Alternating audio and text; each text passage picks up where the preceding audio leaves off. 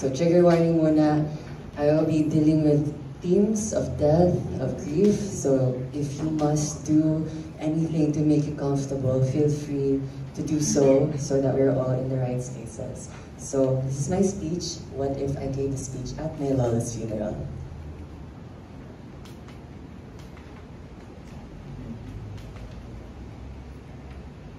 So what do you guys see on the screen right now? It's pitch black, it's darkness.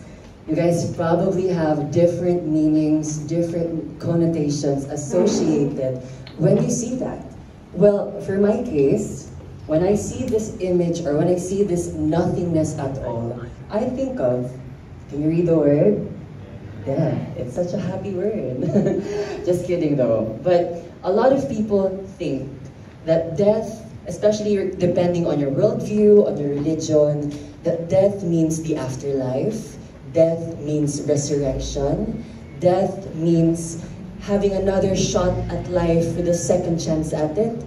But for me, as a spiritual person who may not be all the time religious or subscribing to these worldviews, my perception of death is limited. But one thing that I do know about it is that death is inevitable meaning hindi natin siya matatakasan, mangyayari pa rin siya sa atin. At kahit ikaw si Enrile na ilang stem cell allegedly ang sinasaksak mo sa katawan mo para lumakas ka at ma-prolong mo ang life mo, still, hindi mo siya matatakasan. Pero napapatanong ako sa sarili ko, if death is so inevitable, if it happens to everyone, what makes it so, sorry for the term, special?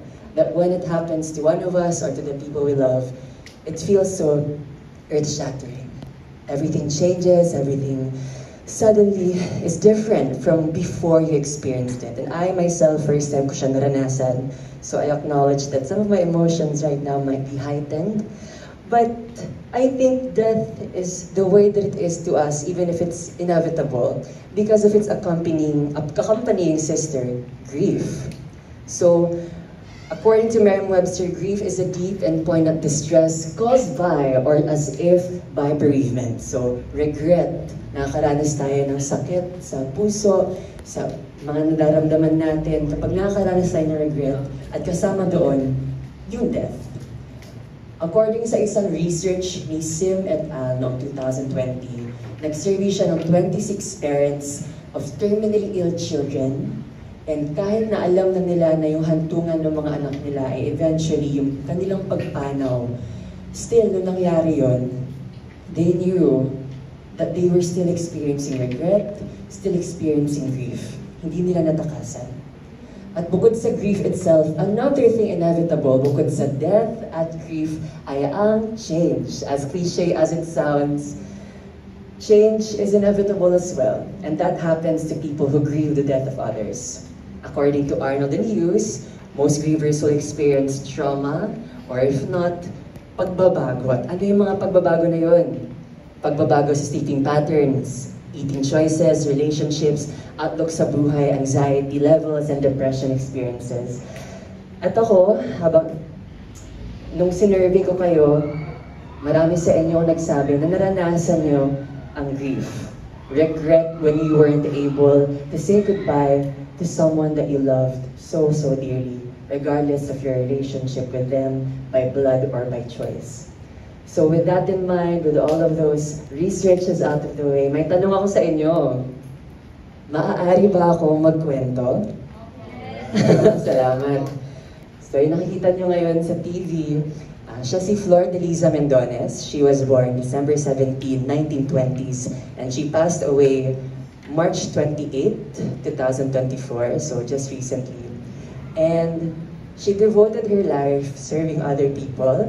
She gave so much of herself to other people that I would always remember, even if she was very religious, one of her gifts to me when I was growing up as a child was a Barbie doll. I did not know at the time what that meant. All I knew was, yay, may Barbie ako. But growing older now, I realized that even though she was religious and even though her religion was practically teaching her to condemn the gays, she chose to bridge my faith to the Lord with love, and I will forever be thankful for that Because so many other bridges to faith could have been fear, condemnation, guilt, obligation, but she chose love for me.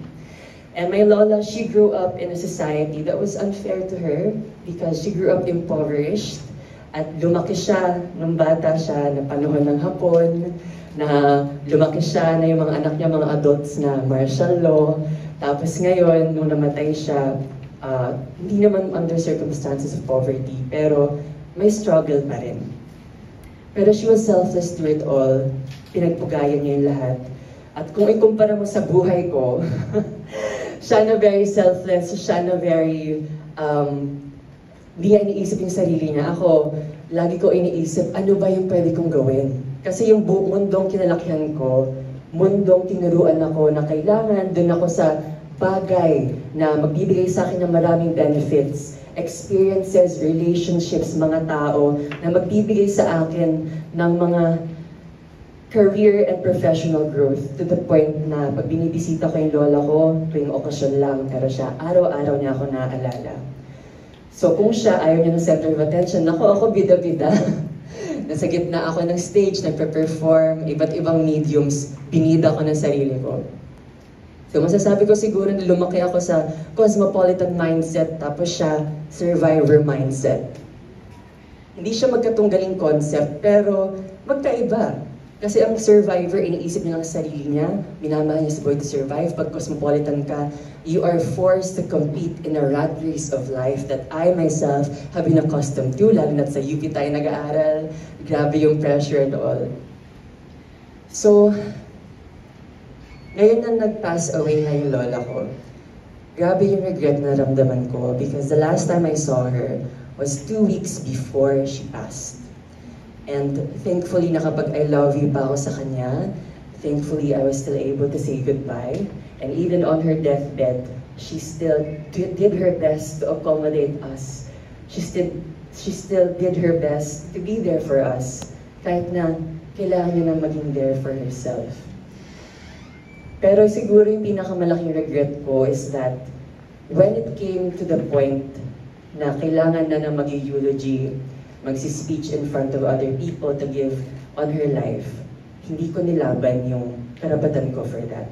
Which is ironic to me kasi nung panahon ng UP Fair, nilaban ko yung slot, yung chance to host. Pero nung panahon na para sa minamahal ko sa buhay na hindi libo-libong tao yung nanonood, kaunting tao lang, hindi ko kinuha yung chance. And I was honestly so disgusted with myself until now actually. So here's what I want you guys to know. Do not wait for your words of love to be unsung eulogies.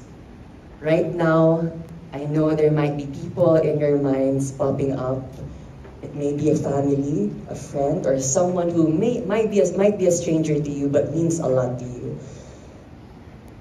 Ngayon, yung tanong ko na what if I gave a speech for my lola's funeral, hindi ko na siya masasagot. Pero kayo, na hindi pa dumarating yung libing, kaya nyo pa siyang sagutin. Kaya nyo pa silang gawin.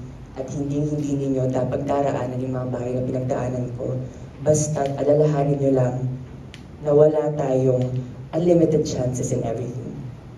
So I leave you with this photo. So it is a photo posted by my Lola on her Facebook account when she was learning how to use Facebook during the time of the pandemic. So, to some people, it might be just a wall na, ano ba yan, parang namali lang ng post, misclick. But now, to me, that is a symbol of her trying to reach out to her children and her grandchildren during a time that it was difficult to reach out to other people. And ngayon, totoo nga, na grief changes the way that you see things. Because Dati, pader lang yan sa akin. Pero ngayon, isa na siyang testament ng pagmamahal. Testament ng isang babaeng nilaban ng odds ng martial law, ng poverty, at kahit ng pandemic at ng digital age. And to me, That is what I try to remember her by. So do not let these walls just be walls. Be there for the people who love you because you'll never know truly. So Lola, I love you so much. Pag sana maabalang yung kaluluwa. And one day, we'll see each other again. I don't know when, but I know that I know the words that I'll have to say to you by then. But for now, ako si LJ Mendonez. Maraming salamat at hanggang sa muli.